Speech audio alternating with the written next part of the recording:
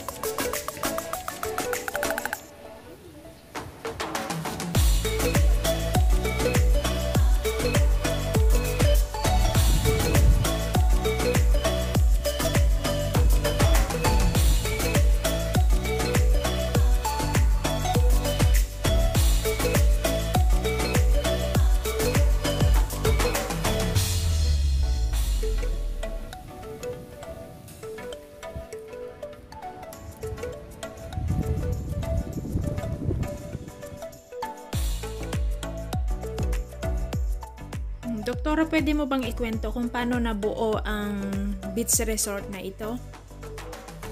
Kasi ito, ang una kong plano was, meron na akong place na to escape from Tuguegrao kasi alam mo na ang buhay ng doktor.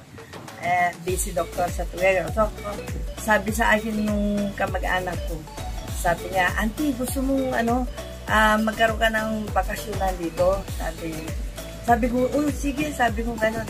Ayan, tinuro niya ito. Eh, sino kapit-bahay ko? Sabi ko, yung ano, may British dyan. Sabi niya ganun. Nakita ko, ay, maganda naman. Sabi ko. So, yun, parang bahay bakasyonan lang na kaya maliit lang doon sa harapan lang. Tapos, eventually, hindi naman ako nakakapunta palagi rito. Parang napabayaan lang. Once in three months, napunta ako rito. Ano naman po ang inaasahan ng future guests nyo dito sa inyong resort? Ang maganda kasi dito is yung meron tayong beach, tapos rooms are clean, well appointed, talagang piling-pili yung mga mga beddings, mga bed sheets. Kaya sabi mo kanina, napaka-colorful na mga bed sheets. And I make sure na laging malinis. Kaya yung staff ko, talagang alam nila na kailangan malinis lagi ang rooms, malinis lahat ng gamit.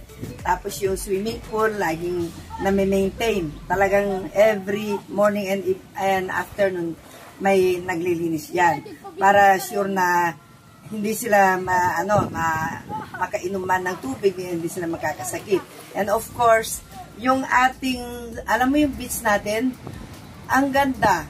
Yung mga turista na may mga dalang anak, sabi nila kanina nga lang, yung mga taga Isabela eh, sabi na, alam mo Dok, natuwa kami din sa beach ninyo kasi malayo na kami, shallow pa rin. What about safety Dok? Safe ba naman ang mga guests natin dito sa inyong beach resort? Safe doon sa beach kasi nga hindi siya malalim.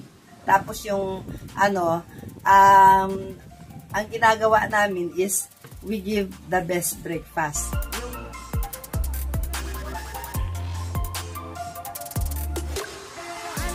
Stop over nyo dito by uh, accident lang or talagang nasa list nyo tong pag-stop over? Ito, by ano lang, by accident lang. Kasi ah, okay. ano Nakita nyo lang yung Sa ano.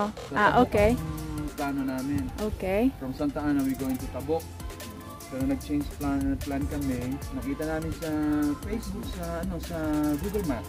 Ay, nakita nyo yun sa namin. Google Map yung location na nena sa resort. Uh, and then maganda dito, ma. Oo. Price niyo.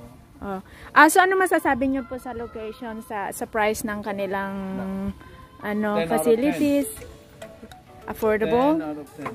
10 out of 10. Which is, that is a positive. Okay. Madam. Alright, Ano okay. Price, and then they gave us this for free. Okay. Kumusta naman po ang biyahe nyo dito sa Cagayan? At ang pag-i-stay nyo dito sa Nenas Resort? Okay naman? Satisfied naman? 11 out of 10 na. Okay, so thank you so much.